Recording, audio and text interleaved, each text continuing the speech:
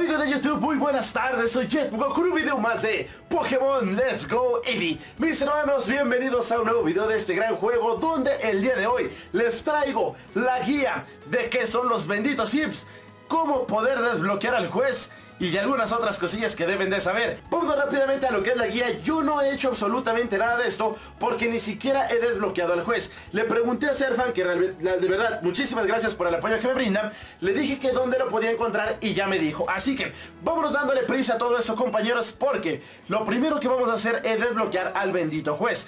¿Cómo vamos a desbloquear al juez? Muy simple y en lo elemental, mis queridos Watson. Tenemos primero que irnos a Pueblo Lavanda. Hay dos sopas. Pueden llegar por Pueblo la Banda o pueden llegar también por lo que es Ciudad Carmín. Yo voy a llegar por Pueblo la Banda porque siento que es más rápido por allá, ¿vale? Ahora, en lo que estamos llegando por allá, porque si es un camino un poquito largo, tenemos que llegar hasta la ruta 11, que ahí es donde podemos encontrar a ese señor, pues les explico. De mientras, ¿qué son los zips? Simplemente, mis hermanos, para que no se hagan pelotas, son los valores individuales que tiene cada Pokémon. Y estos van a saber o van a hacer que el Pokémon sea mejor o sea peor. Así es. Es como por ejemplo, con sus hermanos, ¿no? Bueno, suponiendo los que tengan hermanos, son hijos de la misma mamá y del mismo papá, pero van a haber rasgos o cosillas que los van a diferenciar de, pues bueno, que te va a diferenciar de tu hermano, ¿no? Entonces, estos son los zips. Ahora, quiero comentarles que en cuanto a lo que son los zips, recuerden que están repartidos en lo que son seis estadísticas, que podría ser el PS, que yo digo que es la vida, también es ataque, defensa, ataque especial, defensa especial y velocidad, ¿sale? Son esos. Y lo máximo que puede tener cada uno es 31 IPs. Y pueden ir de 0 a 31. Entonces, suponiendo, en PS solamente pueden tener entre 0 y 31 IPs. No pueden tener más. Ataque especial lo mismo, defensa especial lo mismo y todos los demás entre 0 y 31. 0 obviamente es lo menor y 31 pues es lo máximo que puede obtener un Pokémon. Ahora, bueno, cada estadística. Para poder desbloquear lo que es el juez tenemos que venir a ese edificio, entrar por acá y platicar con ese ayudante del profesor Oak que está de este lado, que ahorita lo van a ver. Ahora, ¿te acuerdas de mí? Trabajo como ayudante del profesor Oak. Si logras registrar en la Pokédex 30 especies diferentes de Pokémon, te entregaré una recompensa, la función juez. Al menos es lo que me ha encargado el profesor. Dime, ¿has logrado atrapar al menos 30? Bueno, aquí ya nos está diciendo cuál es el requerimiento. Si quieren desbloquear la función de juez, solamente con que capturen 30 especies de Pokémon, ya se las puede desbloquear y la verdad es que les va a servir muchísimo para lo que es su serie y más para las personas que realmente quieren meterse a la onda competitiva. Esa información de verdad que les va a servir. Ahora, tenemos más de 30, obvio. a ver, ¿cuántas tengo? A ver, a ver. Has logrado atrapar un total de 94 especies distintas de Pokémon. Era más que obvio. Muy bien hecho, aquí tienes. Te lo has ganado. Pues ahí está, compañeros. Se nos acaba de desbloquear lo que es la función de juez. Se añade a la bolsa y nos dicen, podrás usar esta función al ver los datos de un Pokémon. Te permitirá comprobar el potencial innato de cualquier miembro de tu equipo. Bien, ahora sí. Con esto es más que suficiente, ya tenemos desbloqueada la función de juez y cómo la podemos observar. Muy simple compañeros, tenemos que entrar a lo que es nuestro equipo. Ahorita si se dan cuenta yo traigo aquí varios chances porque era de la última cadena que yo hice y supongo yo que los últimos chances que capturé, que digamos que fue la racha 31, pues realmente deben de tener estadísticas altas. También los Stargios y el Ponyta creo que fueron los últimos dos que capturé cuando hice la cadena, cuando los andaba buscando en Shinies. Entonces, tenemos que entrar a esta parte. Después, podemos analizar cualquiera. Le dan a Chansey, entrar normal, se van a datos. Y aquí automáticamente ya les va a aparecer en la parte de abajo. Si se dan cuenta dice Chansey, la Pokéball con la que capturaron. Y abajito viene juez, datos y salir. Ahí, si nosotros no le diéramos a juez, ahorita, mientras ustedes no lo desbloqueen, les va a aparecer esto. Nada más, cuánto tiene de PS, cuánto de ataque especial, cuánto de defensa, cuánto velocidad, defensa y ataque. ¿Va? Ahora, si nosotros regresamos y aquí le damos juez, les va a aparecer esto. Esto quiere decir que este chance no está tan mal. bueno, a ver, a ver, vámonos. Les va a aparecer esta función. Hay dos formas de distinguir a un Pokémon bueno de uno malo. Hay una valoración general y ya hay una valoración individual. ¿Por qué no puedo decir valoración? bueno, hay dos puntos. La primera es lo que ustedes están viendo del lado izquierdo donde dice potencial extraordinario. Hay varios mensajes que pueden salir ahí. Se los platico rápidamente porque esto es importante. El primer mensaje en lo que es la valoración general puede ser aceptable, que realmente si les aparece ahí donde dice potencial aceptable, pues es lo peor que pueden encontrar. Después sigue superior a la media, que pues tampoco no está bien. Está entre muy mal y mal, ¿vale? Después, notable, que no está tan mal y ya al final lo que nosotros debemos de buscar para un Pokémon que sea realmente competitivo debe de decir extraordinario como lo están viendo ahorita ustedes ahí. Ese dice potencial extraordinario, eso quiere decir que en valoración general está bien el Pokémon. Ahora, no nada más tenemos que ver esto, tenemos que ver las valoraciones individuales. Pero de mientras, si su Pokémon dice extraordinario, ya le hicieron. Es más, olvídense de todo lo demás. Con que diga potencial extraordinario, con eso están del otro lado. Vámonos a la valoración individual.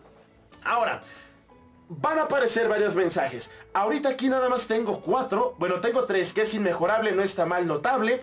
Déjenme ver si encontramos algún otro. No está mal, no, no, no. Genial. Ahí tenemos otro que dice genial.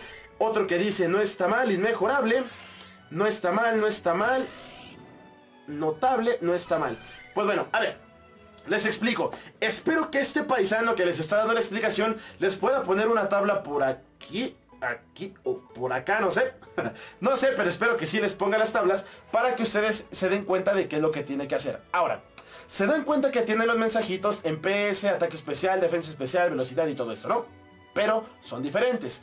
Les había comentado que cada estadística lo máximo que puede tener es 31 y lo mínimo es 0. Ahora, si entre una de estas estadísticas, porque va por estadística, suponiendo que donde dice PS no dijera inmejorable, si no saliera un mensaje que dice cojea un poco, significa que esa estadística en particular tiene 0 IPS. Así que no va a poder hacer absolutamente nada porque nunca va a poder llegar a lo máximo que puede adquirir esa estadística de Chansey.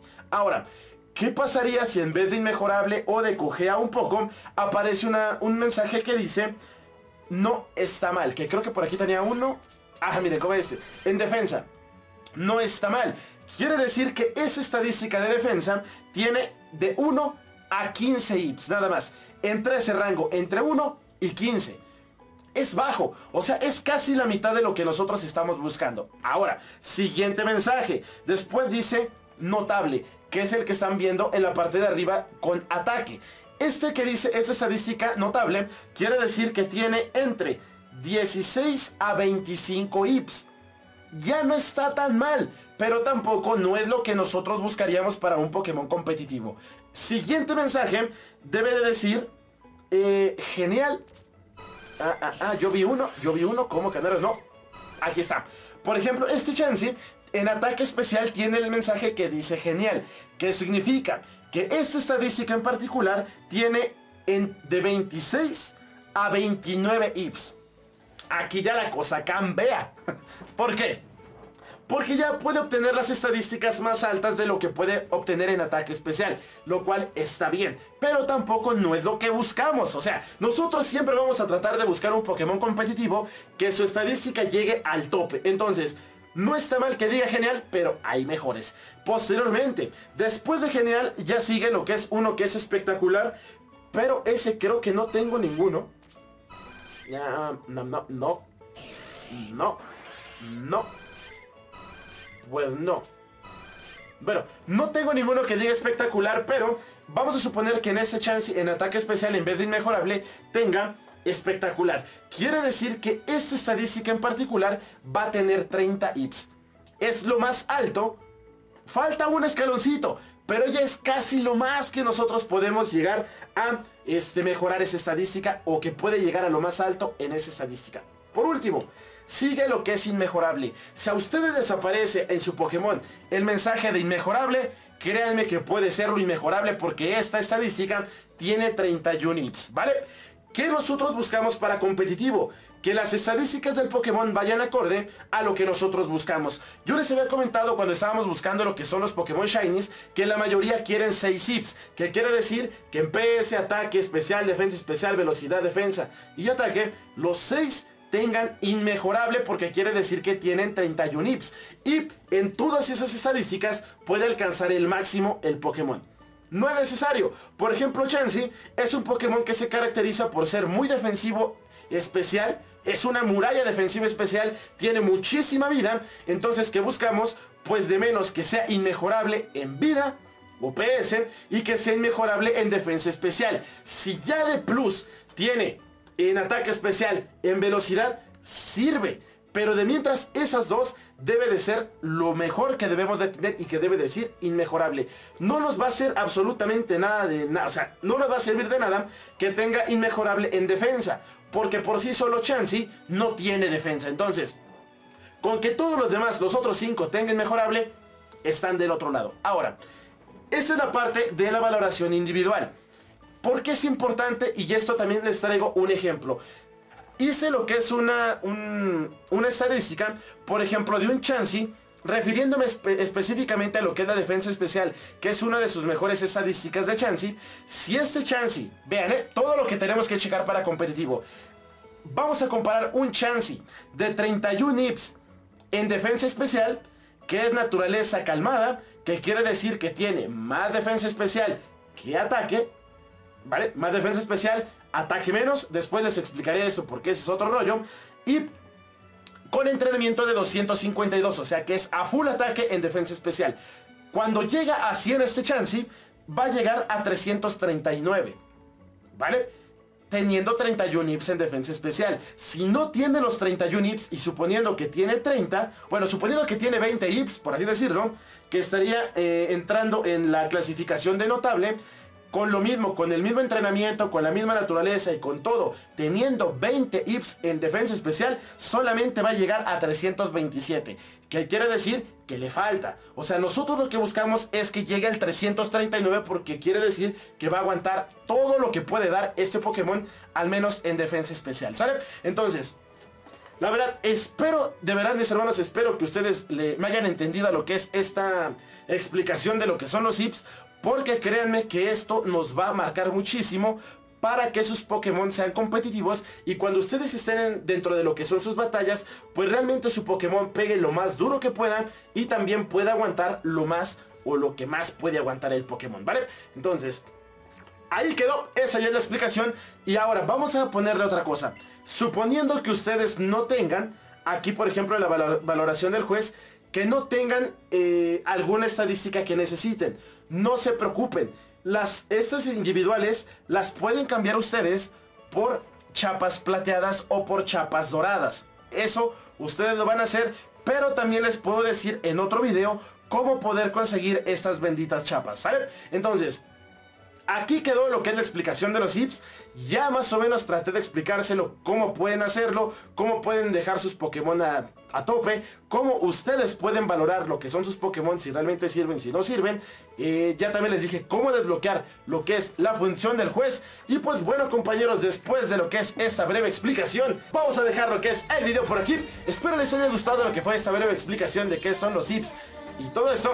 Y pues si les gustó, ya saben, por favor déjenme su buen like, compartan el video, suscríbanse también al canal si aún no lo han hecho y recuerden activar la campana de notificaciones para que cada que suba videos ustedes sean los primeros en enterarse. De mi parte de mientras es todo, soy Ed les mando un fuertísimo abrazo y nos veremos el día de mañana con otro video más de guía de Pokémon. Let's go y en lo que encontramos a los Pokémon que realmente debemos de tener para enfrentarnos a los maestros Pokémon y posteriormente retar a ese red, ¿vale? Ahora sí, mis hermanos, pues cuídense.